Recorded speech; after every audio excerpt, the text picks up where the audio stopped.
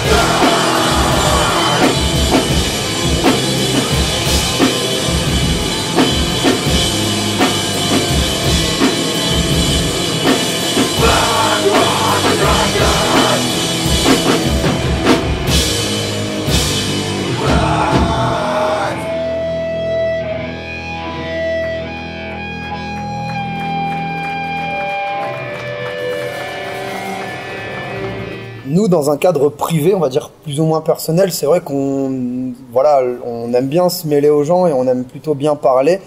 Euh, finalement, on est dans une scène où il y a aussi beaucoup de musiciens que tu as déjà rencontrés, il y a beaucoup de potes, c'est une scène dans laquelle il y a énormément de soutien. Donc du coup, effectivement, nous, on aime, on aime revoir nos potes, rencontrer de nouvelles personnes, et je pense que si on a envie. Enfin, sur scène, on n'est pas du tout dans cette optique-là. Euh, bah voilà, déjà, on a un nom qui s'appelle Pessimiste on joue une musique qui est power violence, qu'on essaye de, avec des thèmes qui sont abordés, qui sont hyper dark, qui sont hyper dans le mal-être et tout ça.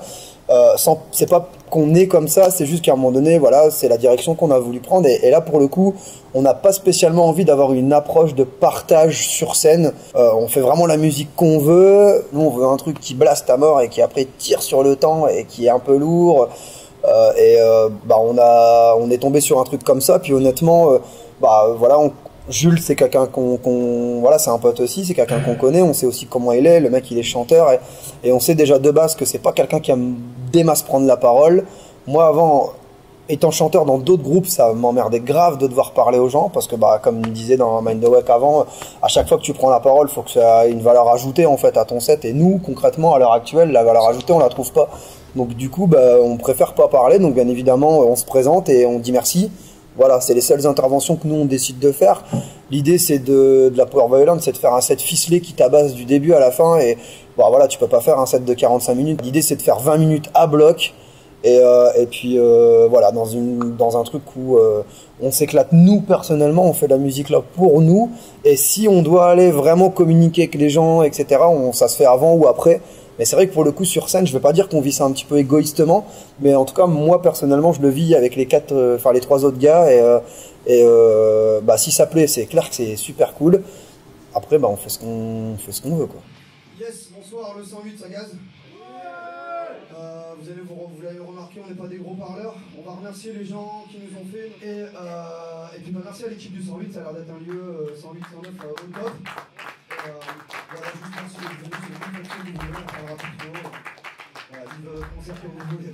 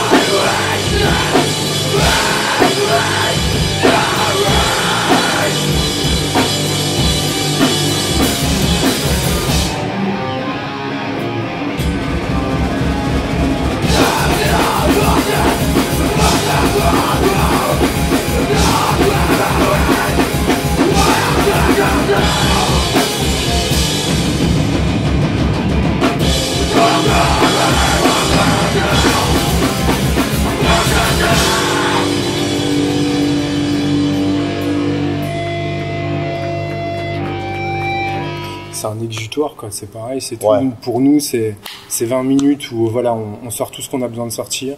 Et euh, si on communique ça et que les gens ont envie, ont besoin aussi de sortir le truc, voilà, c'est le seul lien qui pourrait réellement y avoir au niveau scénique avec le public, mais, euh, c'est déjà pas mal.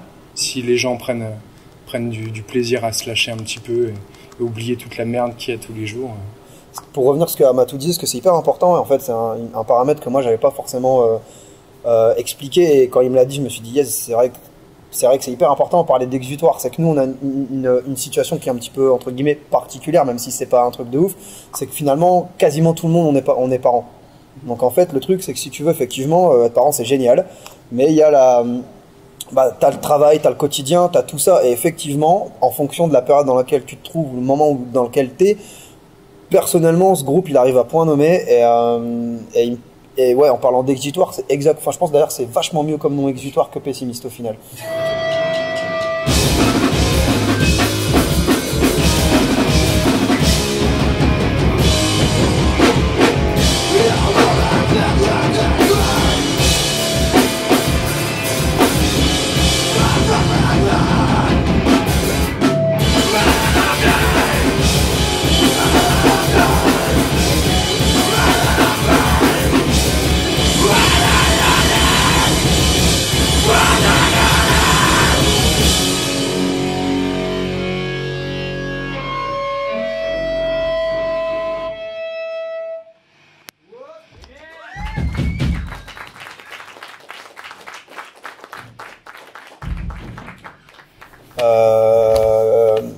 Très bon ami à moi, Manux, qui a monté Wicker. Donc Wicker qui est une, entre guillemets une, orga de concert, agence de booking un petit peu. Donc on bosse beaucoup dans le punk rock. On fait un peu de hardcore en ce moment aussi. Euh, moi c'est de là d'où je viens en fait. Hein. donc les premiers groupes que j'ai écoutés c'est du punk rock. Hein. Et euh, c'est vrai qu'avoir eu la, possibilité d'organiser des concerts pour NoFX, Pennywise, Good Riddance, tous ces groupes que moi j'ai voilà, j'ai continué à adorer. Donc moi mon rôle là-dedans si tu veux c'est que bah euh, ayant fait un peu de scène, ayant fait un peu de ceci, cela, je fais un peu, entre guillemets, bah, un peu de régie avec euh, bah, François Farou, qui est un, un régisseur sur Paris, qui lui, c'est son taf pour le coup. Euh, on file des coups de main, on fait de la nounou, on fait du running, on fait, euh, voilà, moi je m'occupe pas du booking, de l'argent, je suis sur le moment et en gros, bah voilà, j'essaie de faire en sorte que tout se passe bien. Donc après, voilà, Manux, lui, gère vraiment tout ce qui est booking, organisation, budget, négociation, parce que, ma mine de rien, tu, on bosse avec des trucs qui sont pas tout petits, donc ça se passe pas comme nous, hein, t'envoies un message sur Facebook, salut, non, non, non, voudrais jouer chez toi. C'est comment Ouais, t'inquiète, conditions à la cool, euh, tant qu'il y a à bouffer et tout, si un peu de blé, c'est cool. Voilà, ça, ça malheureusement et, logiquement, ça se passe pas comme ça. Donc bah ouais, derrière, euh, moi je fais à côté de ça, mais c'est vraiment pas un taf, euh, c'est pas quelque chose qui me contraint des masses. c'est plutôt, enfin, ça reste un putain de loisir de rencontrer des groupes des groupes que j'écoute depuis que j'ai 14 piges et que ouais, par moments c'est des super rencontres et par moments c'est juste de la merde. Ce que je te disais, hein, vie, réelle et, et la vie euh, entre guillemets, euh, le virtuel quoi. Ouais, la musique ça reste que du virtuel en fait, enfin entre guillemets, pour moi. Même si c'est ce que j'adore, je pourrais pas vivre sans.